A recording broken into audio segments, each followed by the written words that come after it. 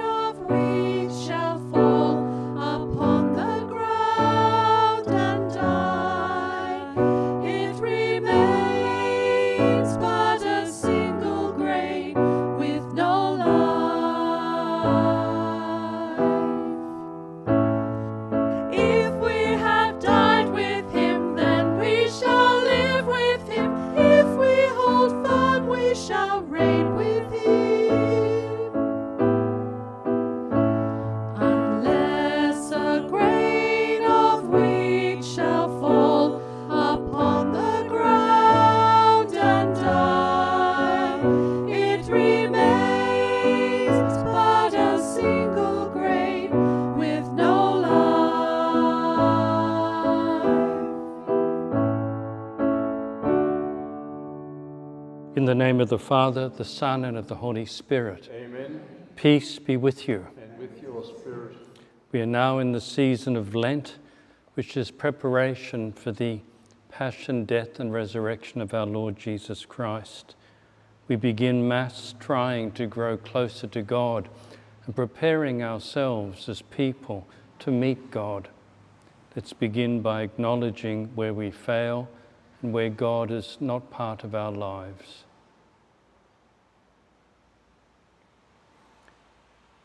Lord Jesus, you are mighty God and Prince of Peace. Lord, have mercy. Lord, have mercy. You are Son of God and Son of Mary, Christ of mercy. Christ, have mercy. You are Word made flesh and splendor of the Father. Lord, have mercy. Lord, have mercy. And may Almighty God have mercy on us, forgive us our sins, and bring us to everlasting life. Let us pray. Grant, Almighty God, through the yearly observance of Holy Lent, that we may grow in understanding of the riches hidden in Christ, and by worthy conduct pursue their effects. Through our Lord Jesus Christ, your Son, who lives and reigns with you in the unity of the Holy Spirit, God, forever and ever.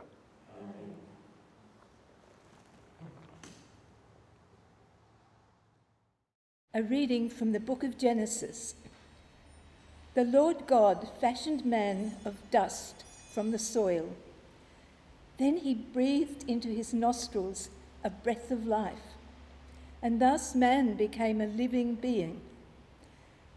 The Lord God planted a garden in Eden, which is in the east, and there he put the man he had fashioned. The Lord God caused to spring up from the soil every kind of tree, enticing to look at and good to eat, with the tree of life and the tree of knowledge of good and evil in the middle of the garden. The serpent was the most subtle of all the wild beasts that the Lord God had made.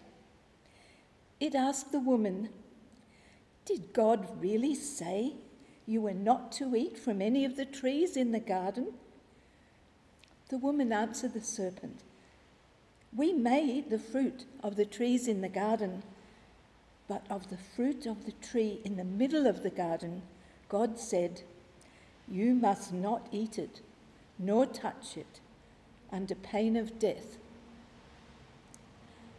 Then the serpent said to the woman, No, you will not die.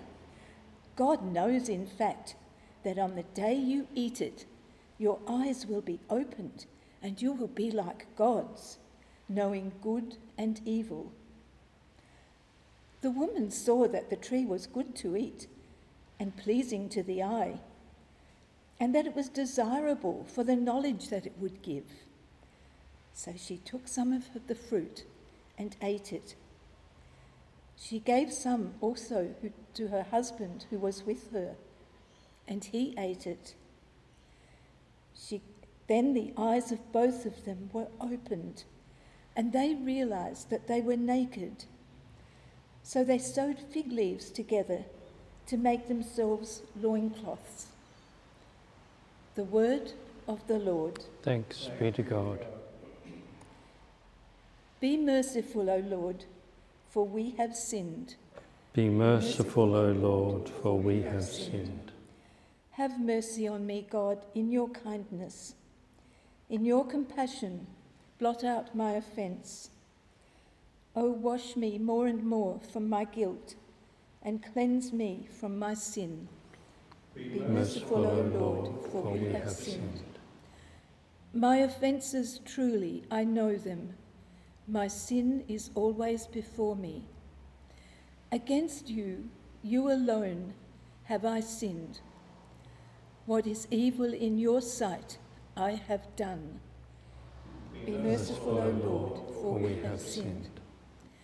A pure heart create for me, O God. Put a steadfast spirit within me.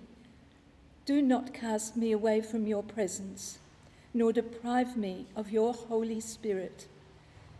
Be merciful, O Lord. for we have sinned. Give me again the joy of your help. With a spirit of fervour, sus- sustain me. O Lord, open my lips, and my mouth shall declare your praise. Be merciful, O Lord, for we have sinned.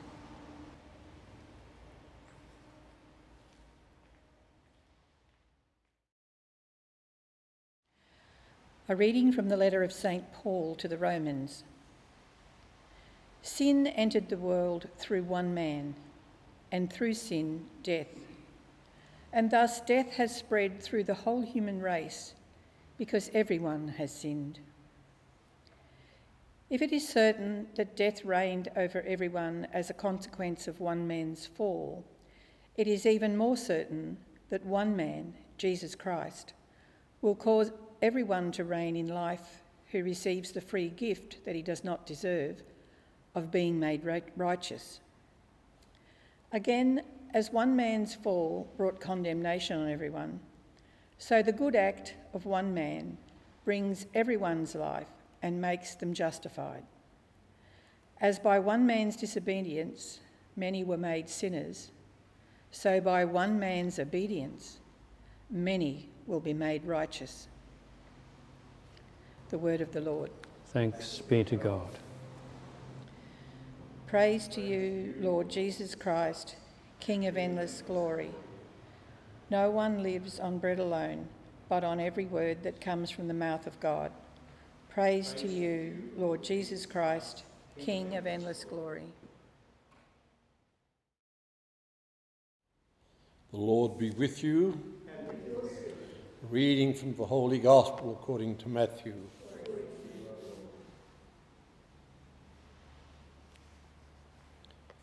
Jesus was led by the Spirit into the wilderness to be tempted by the devil. He fasted for forty days and forty nights, after which he was very hungry. And the tempter came and said to him, If you are the Son of God, tell these stones to turn into loaves. But he replied, Scripture says, Man does not live on bread alone, but on the very word that comes from the mouth of God. The devil then took him to the holy city and made him stand on the parapet of the temple. If you are the Son of God, he said, throw yourself down, for Scripture says, He will put you in the angels' charge, and they will support you on their hands, in case you hurt your foot against a stone. Jesus said to him, Scripture also says, You must not put the Lord your God to the test. Next, taking him to a very high mountain, the devil showed him all the kingdoms of the world and their splendor. I'll give you all these, he said, if you fall at my feet and worship me. Then Jesus replied, Be off, Satan, for scripture says, You must worship the Lord your God and serve him alone. Then the devil left him, and angels appeared and looked after him. The Gospel of the Lord.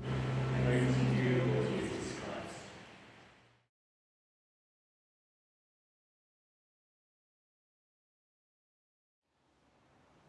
I have memories of friends of my parents, not relatives, but they were friends that I never nevertheless called auntie and uncle.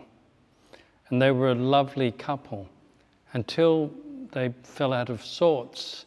And when that happened, they would say things to each other which would suddenly annoy the other. He could annoy her in a way that nobody else could, and she could annoy him in a way that nobody else could. And when that happened, we'd all stand back and watch with slight embarrassment. And then the next time you saw them, they were so close and loving. But every now and then, this would happen. And obviously, what was happening was they got annoyed with each other, and they knew each other so well, they knew how to doubly annoy each other. They knew the way, each of them, had to get into that person, the husband or the wife, which I suppose is a sad reality, but I tend to think it's not uncommon in marriages that this happens because you can't be with someone for so long without beginning to recognize the weaknesses of the partner, without beginning to recognize the sore points of the partner, without beginning to recognize how you can really annoy them. I think this happens in marriage more than any other place because of, of the reality of closeness and the number of years together. In today's gospel, we are in many ways troubled by the fact that Jesus is tempted three times. I think it's very important in relation to how I began. These friends would know how to tempt each other because they knew the weaknesses.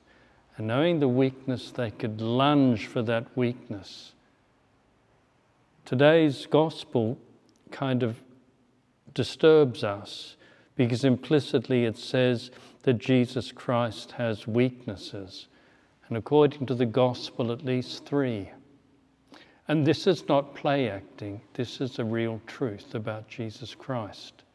And I would recommend to anyone that you need to look at these temptations and work out what Jesus' weaknesses are.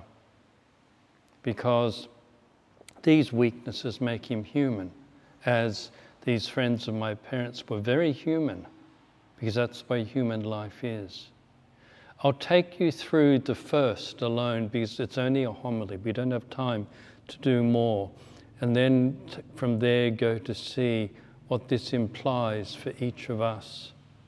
These temptations tap into three real weaknesses, three real struggles that Jesus carries throughout the gospel. And if you don't know what they are, you'll never understand Him.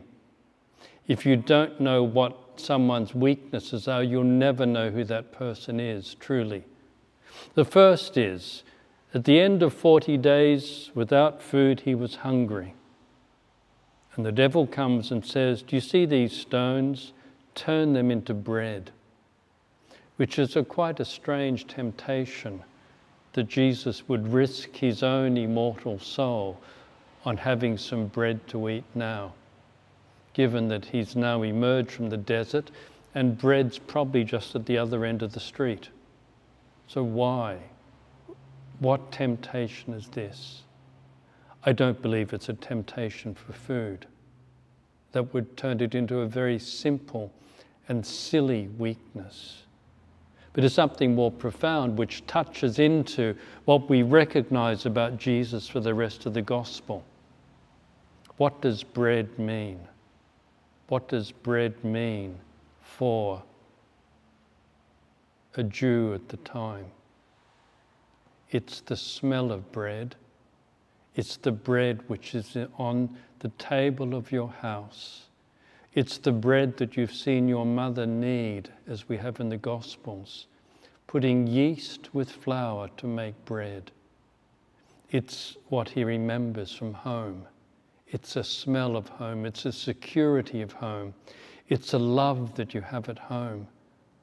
This is what the bread means. And as Jesus emerges from the desert, he knows that he can't go home. He won't go home again. He'll visit Nazareth one time, as we see it in the Gospel.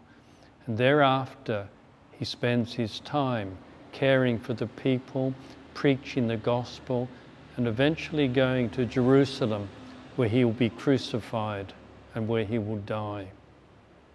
The first thing he knows he has to give up in order to do the Father's will is everything that he loves, everything that's made him who he is, the bread of his life, his family. I'll leave it to you to work out what the other two temptations are. But until we know the temptations and the weaknesses, the struggles Jesus has, Jesus does not become a real person and we will never understand him. That said, what's the significance of these temptations and our Lord's weaknesses for each of us? By facing his weakness and walking in it, this opens in his life the place of God. And where Jesus has temptations, where Jesus is weak and fragile, this is the place where his heavenly Father enters his life. And it's no different for you, no different for me. I have weaknesses. And the extraordinary thing about my weaknesses, if I live my weaknesses in the presence of God, they become the windows through which God enters my life. God doesn't come to me in my strength. There's nothing in the gospel about Jesus' strength. It begins with his weakness. And my life with God begins with my weakness. Because my weakness is a place where I am open to God. My weakness is the place in my life where I can do nothing, where I need God. My weakness is the place of my prayer, because it is in that place that I cry out to God. And as we begin Lent, let's all turn to God in our weakness and cry out in such a way that our weaknesses and our temptations become the ways and the places through which God enters our lives.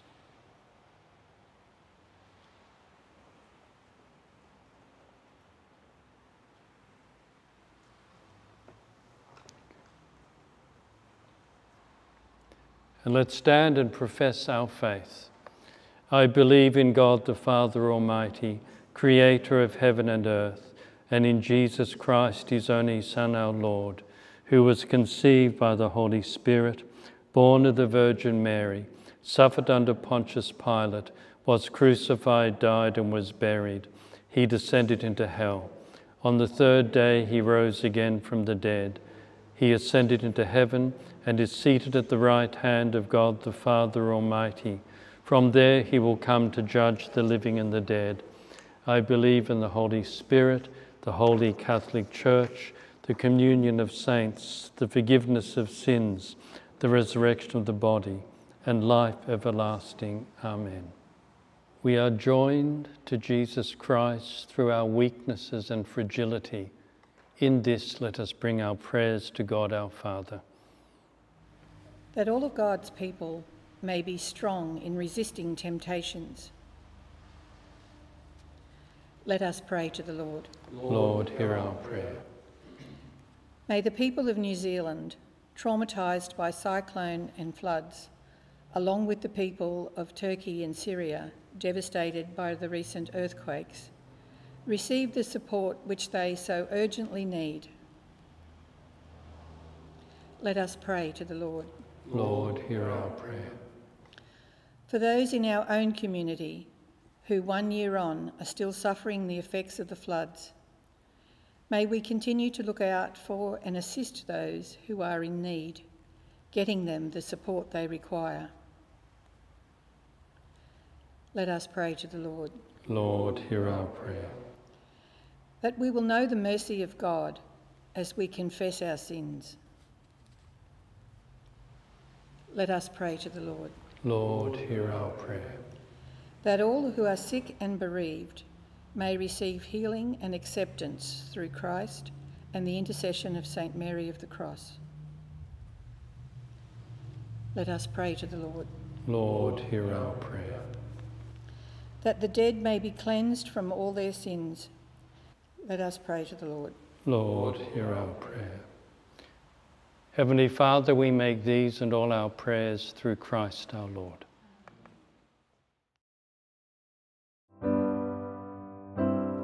To be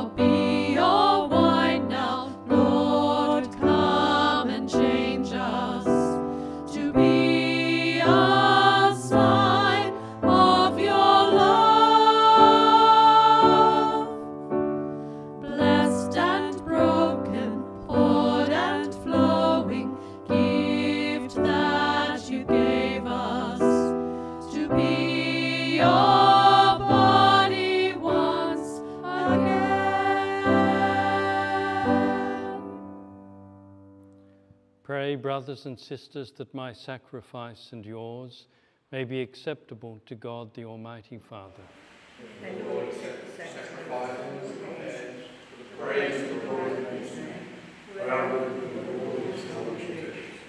Give us the right disposition, O Lord, we pray, to make these offerings, for with, for with them we celebrate the beginning of this venerable and sacred time through Christ our Lord. The Lord be with you. Lift up your hearts. Let us give thanks to the Lord our God. It is truly right and just, our duty and our salvation, always and everywhere, to give you thanks, Lord, Holy Father, Almighty and eternal God. For you have given your children a sacred time for the renewing and purifying of their hearts, that freed from disordered affections they may so deal with the things of this passing world as to hold rather to the things that eternally endure. And so, with all the angels and saints, we praise you, as without end we acclaim. Holy, Holy, holy, God, God of hosts, heaven and earth are full of your glory. The. Blessed is he who comes in the name of the Lord. You are indeed holy, O Lord, the fount of all holiness. Make holy, therefore, these gifts, we pray, by sending down your Spirit upon them like the dewfall, so that they may become for us the body and blood of our Lord Jesus Christ. At the time he was betrayed and entered willingly into his passion, he took bread and giving thanks broke it and gave it to his disciples, saying, Take this, all of you, and eat of it, for this is my body, which will be given up for you.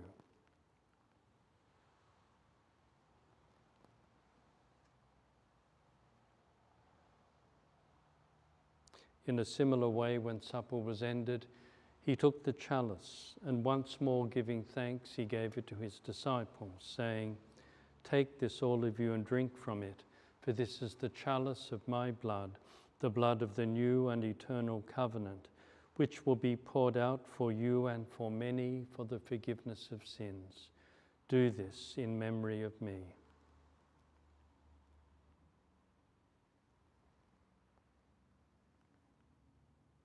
The mystery of faith.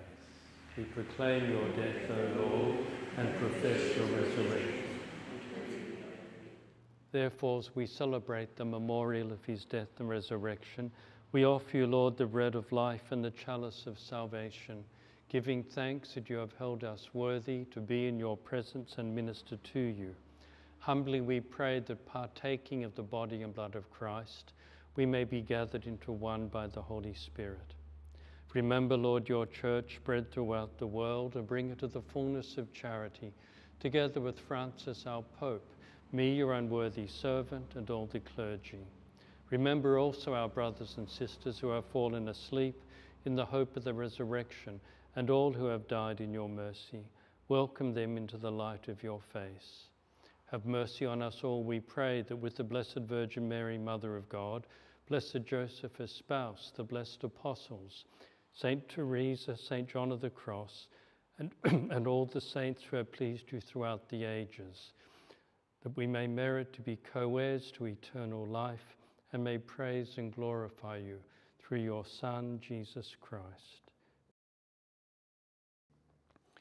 through him and with him and in him, O God, Almighty Father, in the unity of the Holy Spirit, all glory and honor is yours forever and ever. Amen. At the Saviour's command, informed by divine teaching, we dare to say, Our Father, thy kingdom come, thy will be done on earth as it is in heaven. Give us this day our daily bread, and forgive us our trespasses. and lead us not into temptation, but deliver us from evil. Deliver us, Lord, we pray, from every evil. Graciously grant peace in our days, that by the help of your mercy we may be always free from sin and safe from all distress, as we await the blessed hope and coming of our Saviour, Jesus Christ. Lord Jesus Christ, who said to your apostles, Peace I leave you, my peace I give you. Look not on our sins, but on the faith of your church, and graciously grant her peace and unity in accordance with your will, who live and reign forever and ever. The peace of the Lord be with you always. And with your spirit. Let us offer each other a sign of peace.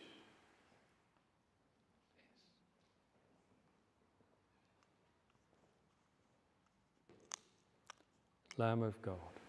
Take away the sins of the world, have mercy on us. Lamb of God, who take away the sins of the world, have mercy on us. Lamb of God, who take away the sins of the world, grant us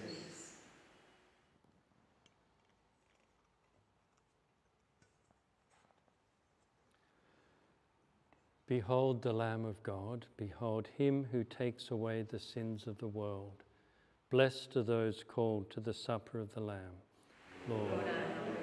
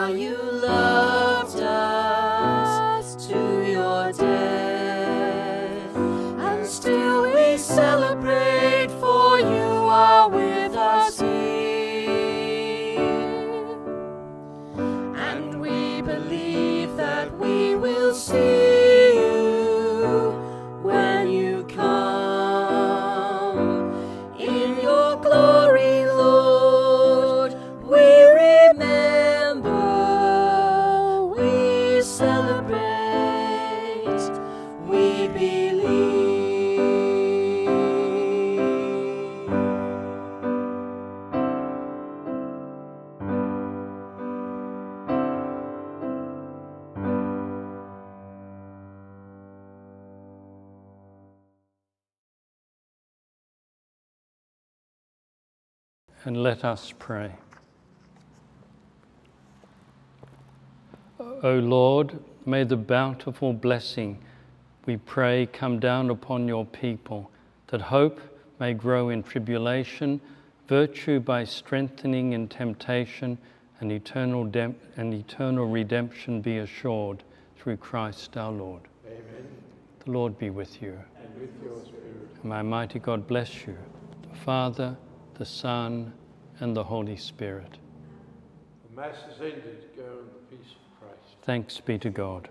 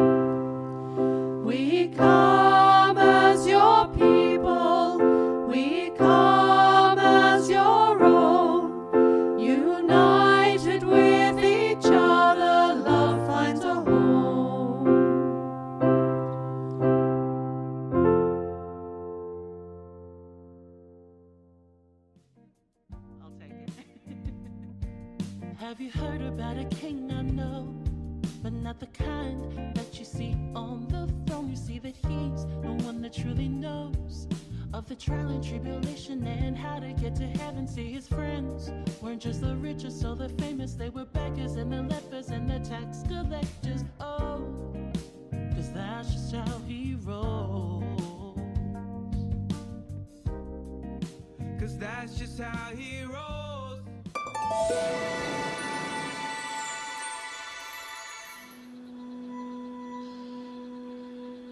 अँ, एकदमै अँ, बुवा बितिसकेपछि चाहिँ अब कसरी पढ्ने होला कसरी mention गर्ने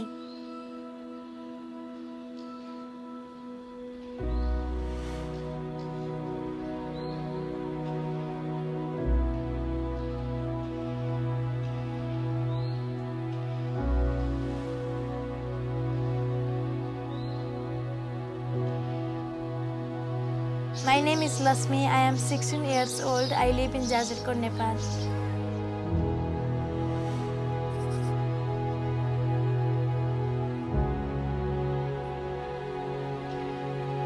तरकारी बेचेर केही पैसा त्यहाँबाट आउँछ।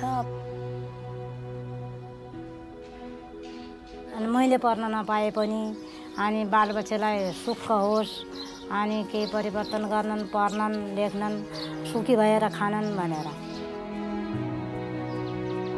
धेरै मेहनत गरेर चाहिँ हामीलाई पढ्ने खर्च जुटाएर पढाउ पढाइराख्नु भएको छ।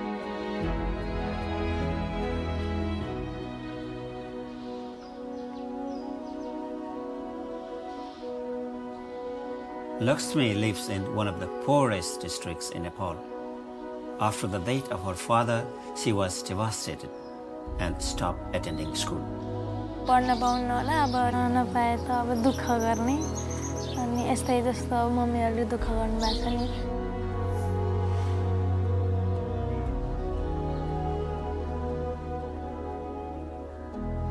Lakshmi was encouraged to return to school by her mother and friends at Child's Club. म बाल क्लबमा नबस्दा अँ, त्यो बाल क्लबमा जस्तो म नजाँदै आबद्ध नहुँदै म चाहिँ एकदमै लजाउने नबोल्ने अँ, नबोल्ने जस्तो स्कुलमा गएर पनि These clubs provide extracurricular activities to develop speaking, leadership, and education in child rights. पहिला सानो सानो डराउँथे बोल्न सक्दैन थिए सानी थिए। अब अहिले अब बाल कलममा लागेर पढेर जान्ने पनि भएकी छ। चाहिँ केही कुरो सिकाउने पनि भएकी छ। अनि पढ्न पनि सक्छ। मलाई त चाइल्ड क्लबमा बसिरहेको चाहिँ धेरै परिवर्तन आयो। Lakshmi's proudest moment was advocating for water taps at her school so students can access clean water. म समय यहीँ आउँदाखेरि पनि म पढ्न बाहिर गए पनि अब पछाडि अब म जबतिर लागे पनि पछि यहाँ आउँदाखेरि त्यहाँ स्कुल जाँदाखेरि मैले धारा देख्छु। अनि त्यतिखेर चाहिँ एकदम खुसीको महसुस पहिलाको सम्झेर खुसीको महसुस हुन्छ।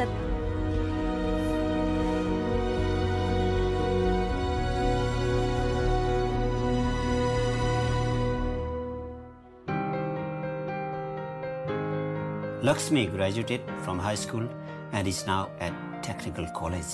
अब म अहिले सिभिल इन्जिनियरिङ पढ्दैछु। आफूले पढेर पढिसकेपछि आमालाई चाहिँ राम्रोसँग दुःख गर- नगराइकन बसाल्ने जस्तो महसुस। छोरी भोलि यस्तै इन्जिनियर बनेर राम्रा रोडहरू राम्रा पुलहरू बाटाहरू बनाएको देख्नु परोस् मैले। राम्रो काम गर्दै गएको देख्नु परोस्।